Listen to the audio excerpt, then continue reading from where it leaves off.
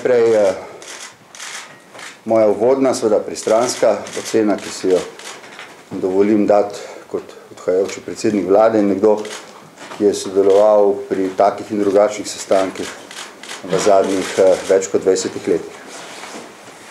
Eh, za voljo pomembnosti soglasno sprejetih stališč o važnih državnih zadevah pomeni današnji sestanek enega najbolj pomembnih srečanj slovenskega političnega vrha v zadnjih letih.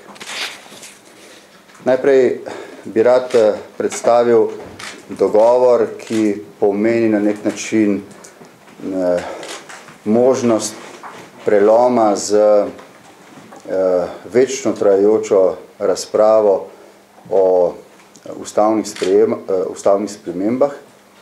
Eh, pomeni možnost, da se ta razprava zdaj eh, po dolgih letih začne in eh, da se jo vodi ter sprejema eh, ustrezna stališča glede na prioritete, eh, ki pomenijo uveljavitev tistega, kar smo sogovorniki danes razumeli kot nacionalni interes.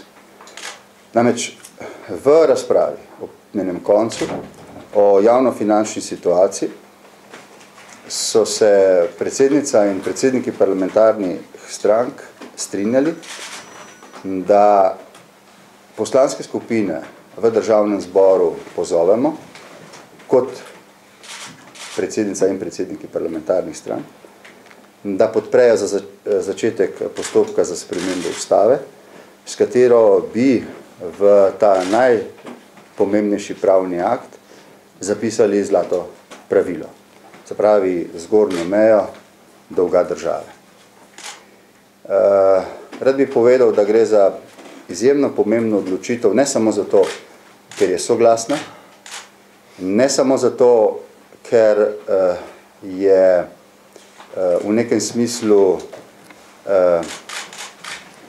dalekovidna. Uh, vemo, da bo vrh konec januarja odločal o tem, da se obveznost zlatega pravila upiše v najviše pravne akte v novi eh, pogodbi oziroma spremenjeni pogodbi. V tem smislu ne sledimo samo že dogovorjenim eh, stališčem pakta za stabilnost, da se bodi si v zakonih, bodi si v ustavi sprejme to zlato pravilo in kot veste v zakonu o javnih financah je vlada to predlagala, pač pa smo se odločili, kot rečeno, soglasno, da pozovemo poslanske skupine, da se čim prej začne ustavni postopek in da brez pogojevanja, brez skušnjav, z pogojevanjem z drugimi ustavnimi spremembami to uh, ustavno spremembo uh, diskutiramo in sprememo. To bi pomenilo pomembno sporočilo na vznoter, najprej za nas, za ljudi v tej državi, namreč, da obstoji ustavna kategorija dolga in da se ljudje lahko zanesejo, da če vlada, ena ali druga, ne bo sposobna regulirati javnega dolga, bo morala oditi, ker uh, ni sposobna slediti ustavni kategoriji, ki bo zelo jasna. In na vzven, ker bomo skupaj z zakonom, ki bo seveda reguliral postopke, eh, izvedene iz tega ustavnega načela, eh, določili način uveljavitve. Tako da smo se danes poleg eh, načelnega dogovora glede začetka in upajmo uspešnega konca ustavne razprave, dogovorili tudi, da zakon o javnih financah po nujnem postopku gre v državni zbor, da ga ta začne diskutirati kot usporednico razpravi na ustavni komisiji, ker pričakujemo, če bi sklepali po današnjih razpravah skoraj soglasno, podporo, mi seveda nimamo, to moram posebej povedati, pravice, da jim govorimo o imenih poslancev, lahko govorimo kot predsedniki strank, poslanci se odločajo po svoji vesti, vendar taki dogovori običajno ne ostanejo brez, eh, brez uh, uh, konsekvenc. uh, glede um, ravnanja. Konsekvenc mislim, da na to, da poslanci prisluhnejo nekemu tako pomembnemu dogovoru, kot je ta. Rekel sem, da ta predlog nobena od strank ali poslanskih skupin, vsaj tako se bomo zauzeli pri naših poslanskih skupinah, ne bo pogojevana za kakšno drugo ustavno spremembo. Uh, strokovno utemeljitev predloga bo pripravila vlada Republike Slovenije, v proceduro pa ga bodo, tako smo se odločili, vložile poslanske skupine. Uh, naj povem, da je mnenje tukaj na vzočih, tudi tistih, ki imajo obširnejše pravno znanje od, moje, od mojega, menili, da z samo uveljavitvijo tega načela eh, sprožimo verjetno mehanizem, ki avtomatično regulira eh, referendume glede fiskalnih eh, eh, zakonov, ker bo, tako domnevam, ampak pravim, to je zdaj eh, razprava, ki se bo šele začela, eh, ker bo ustavno sodišče, če bo pred odločitvijo ali neke zakone o eh, fiskalnih, eh, torej ali bo fiskalne zakone prepustilo referendumsko odločilo ali ne, verjetno moralo upoštevati to ustavno normo. Ne. Do zdaj tega ni bilo potrebno, ustavno sodišče v svojih izrekih, kot veste, večkrat opozorili, da nima ustavne podlage, da bi omejevalo eh, referendum. Ne, ne bo nobenega eh, tukaj nesporazuma. Eh, politične stranke, ki so bile danes na sestanku, se niso sestale zato, da bi omejevale pravico suverena do referenduma. Ni bilo to naše izhodišče. Naše izhodišče je bila presoja, kaj je potrebno storiti za to, da javni dolg ne bo pokončal suverenosti naše države. V okoličini, v katerih se gimljamo, je to torej vele pomembno uh, sporočilo, ki ga dajemo najprej našim ljudem, da smo se dogovorili, da mora vlada upoštevati, ker je to ustavna kategorija višino javnega dolga in seveda vele pomembno sporočilo finančnim trgom in uh, našim evropskim partnerjem, da bomo to dali v ustavo. Domnevam, da bo eden od dogovorov voditeljev vlad in držav v naslednjih treh mesecih, potem, ko bomo januarja začeli postopek za spremembe evropske pogodbe, tudi ta, da bo to obvezno eh, pravilo, ki bo veljalo eh, za vse. Eh, prav tako smo seveda sklenili, da se vse ostale predloge poslanskih skupin glede ustavnih sprememb procesira in da se prioriteta procesiranja, to je sicer mogoče malo preveč rečeno danes, ampak eh, tako smo omenili, seveda je to stvar predsednika ustavne komisije in članov ustavne komisije, da se, zato smo se zauzeli, naj rečem tako. Poslanci so upravičeno občutljivi na to, da se predsedniki strank odloča v njihove imene, zato govorim tako zelo previdno, da bi se procesiralo praviloma tiste eh, predloge, ki so ta hip in dolgoročno relevantni za eh, Eh, našo prihodnost tako, kot jo vendarle vsi eh, eh, želimo. Zelo se mi zdi pomembno, da smo se bili dogovorili, da se premakne predvidoma za 30. januar sklicana seja državnega zbora na 28. Zakaj? Zato, ker bi sicer res kot predsednik vlade moral izbirati o tem, ali naj se udeležim zasedne državnega zbora, ki bo odločal mandatarju, ali pa ne grem v Bruselj na zasedne Evropskega sveta, ki bo odločila ravno tako o prihodnosti Slovenije in uh, svojim kolegom sem položil na srce, ne mi nikar ne spravijo v situacijo, da bi bil pred to, to odločitvijo znan mandatar. Ker bi se potem, uh, ali pa kandidat za mandatarja, ker bi se potem lahko iz mojega obnašanje napačno razumelo, da sem se bodi si želel izogniti glasovanju njem, ker sem šel v Brusel, ali pa v Brusel nisem šel zato, ker bi ga želel podpreti. Vsi so to zelo dobro razumeli in jaz sem hvaležen predsedniku državnega zbora, ki je napovedal, da bo spremenil datum tako, da bo državni zbor, ampak to zdaj ni moja stvar, to je stvar gospodarja postopka, to je predsednika državnega zbora, da bo predlagal kolegijo, da se priloži zasedene 28, tako da se jaz lahko um, uh, udeležim sestanka Evropskega sveta, ki se bo začel predvidoma 30. Vsi uh, smo, mislim, da zelo pozorno poslušali našega ambasadora iz Bruslja, ki je prišel za zadnjimi vestmi o pripravah na vrh, konec meseca, tudi v luči sprejetja bonitetnih ocen za devet držav, uh, vključno za znižene bonitetne ocene za mehanizem vreden 440 milijard evrov, ki pomaga državam. E,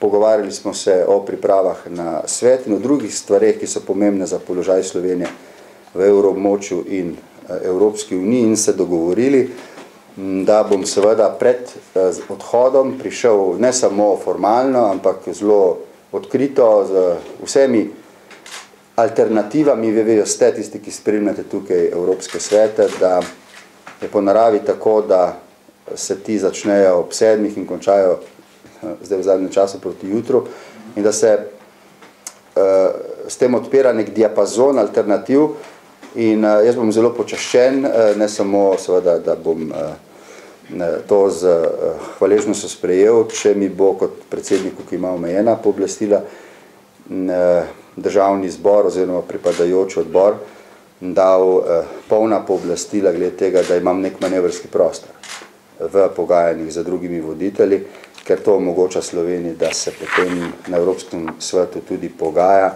ne samo zavrne ali spreme tisto, kar so se izpogajali drugi. E, tako da se mi zdi ta e, stvar zelo pomembna.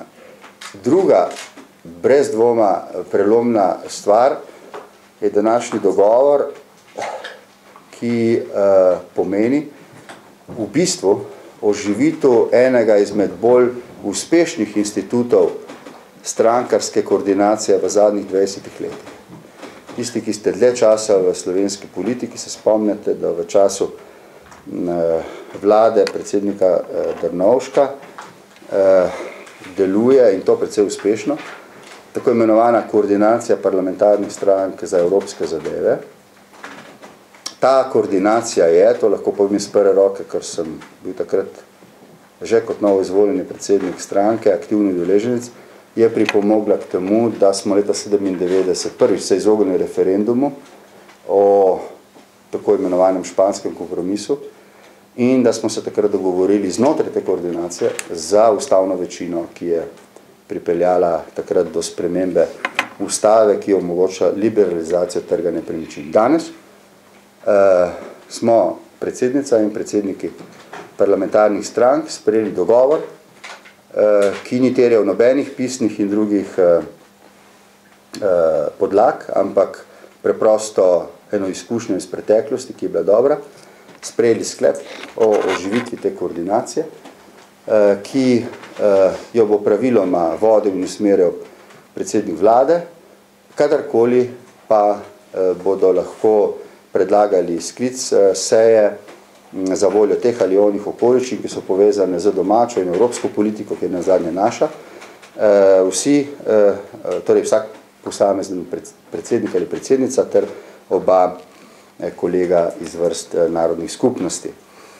Torej, v bistvu smo danes ustanovili koordinacijo, ki bo praviloma zasedala vsakič pred Evropskim svetom, ker je bilo lani teh svetov deset, eh, bo to pomenilo že po tej definiciji precej aktivno sodelovanje, kot je bilo danes. Eh, pa tudi sicer lahko kdorkoli predlaga, da se eh, skliče tak posveti, da se diskutira zadeve, ki so pomembne za prihodnost Slovenije.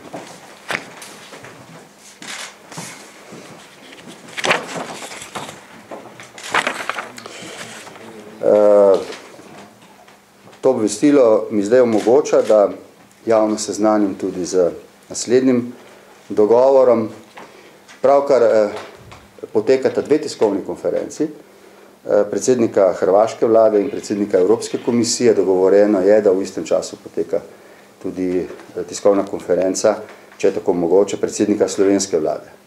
Ne, da bi to načrtovali, ker tako uspešni pa spet nismo, da nam bi to uspelo, ampak rekel, malce sreče, ki je vedno na strani pogumnih, nam je uspelo, da smo danes v teku današnjega pogovora, ko smo si izmenjali stališče tudi glede priprav arbitražnega tribunala in je tekla korespondenčna seja vlade, ki se je končala pred eno uro, eh, kjer sem podal predsednikom in predsednici strank informacijo in smo iz, izmenjali stališča.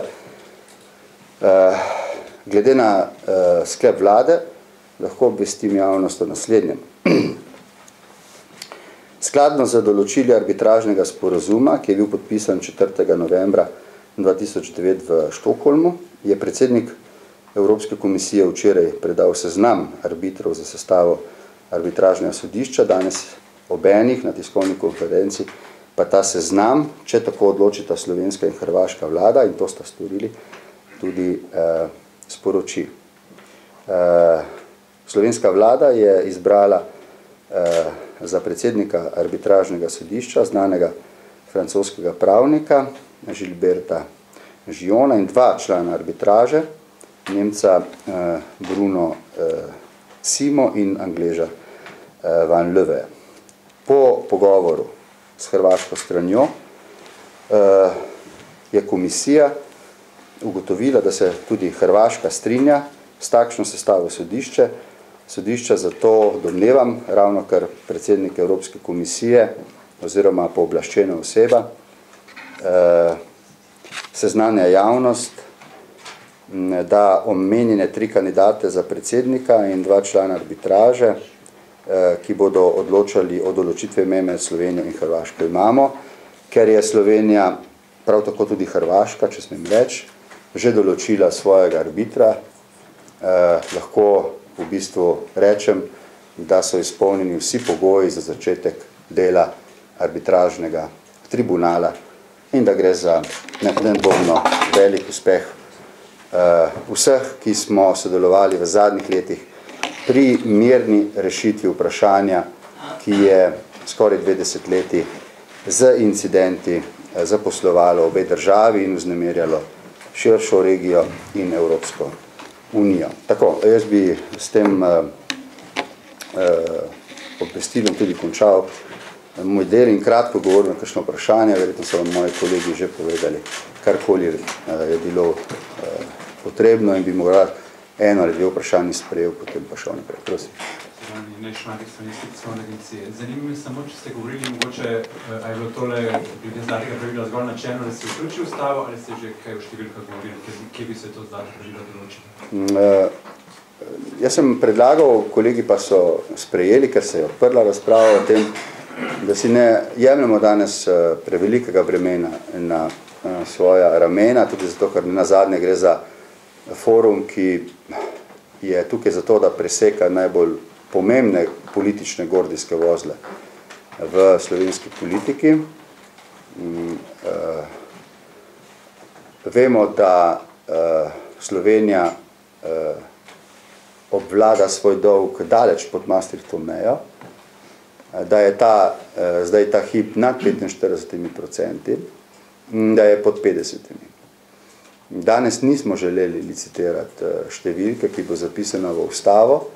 Slovenska vlada je dolžna po današnjem dogovoru dodatno strokovno utemeljiti eh, številko, ki jo je predlagala v zakonu ali pa navesti kakšno drugo z dodatno strokovno utemeljitvijo. Tisto, kar je pomembno je, da bo Slovenija imela ustavno zapisano kategorijo, ki bo pomenila, da vlada, ki ne vlada javnih financ, ne vlada več.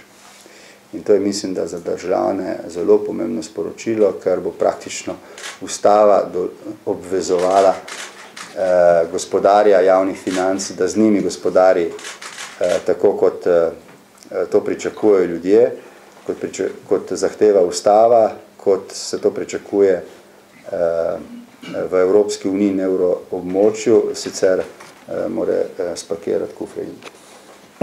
Gospod premijer, povedali ste zdaj, ti trije člani so soglasno sprejeti, kako bo zdaj potekali ti postopki glede arbitraže naprej in pa kaj bo z opredelitvijo predmeta spora? Torej, dejstvo, da domnevam, moji sodelavci mi so sporočili drugače, da istočasno poteka ta tudi dve tiskovni konferenci v Zagrebu in v Bruslju, da eh, smo za današnjim dem eh, zaprli eh, vprašanje poglavja ar imenovanja arbitražnega tribunala. Eh, to omogoča eh, zdaj obema stranema, da pripravita eh, torej, eh, zagovor, tako imenovan memorandum, in v njem bo tudi to vprašanje, o tem pa kasneje. Danes eh, se nismo glede tega izjasnjevali. Razen dogovora, da mora biti stvar na eni strani zelo transparentna, po drugi strani se pa vsi zavedamo, da gre za pripravo zagovora, ki mora biti uh, do določene mere zaupen, če želimo pred tribunalom za argumente uspeti. Tako da je tukaj zavedanje slovenske politike o senzibilnosti predmeta, Eh, ki je predmet nacionalnega interesa prve kategorije visoko in eh, mislim, da je parlament, ki je na novo izvoljen, ima polno legitimnost sposoben to tematizirati na način, da bo seznanjen, da bo lahko do neke mere vplivo vlada pa operativno preko eh, za to pooblaščenih agentov, zlasti pa, da bo lahko advokat pred arbitražnim sodiščem dobro zagovarjal naš interes. In uh, z optimizmom gledam na rezultate tega, tega, te razsodbe. Kako ste se pa predsedniki strank na imena odzvali, ko ste jim predstavili imena, ta tri? Uh, vsi uh, štirje kandidati, ki so bili predloženi, so bili za slovensko stran spremljivi, poznamo, uh, kar se tiče vlade, uh, poznamo njihov historijat, vemo, kdo so in uh, Mi smo informirali predsednike strank in povedali eh, naše mnenje.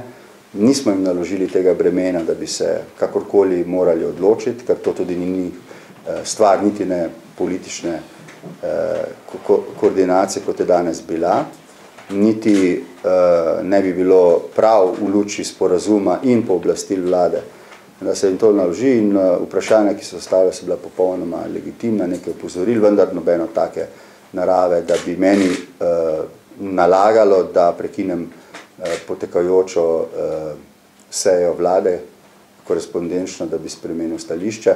Uh, mislim, da je to velik uspeh in da lahko z enim optimizmom gledamo na nadaljne delo arbitražnega tribunala. Gospod Pahor, glede tega zlatega pravila, ki ga boste vnesli v ustavo, imamo jutri kolege državnega zbora, je, ste se vi kaj pogovarjali o ustanovitvi ustavne komisije, ki je vodi predsednik?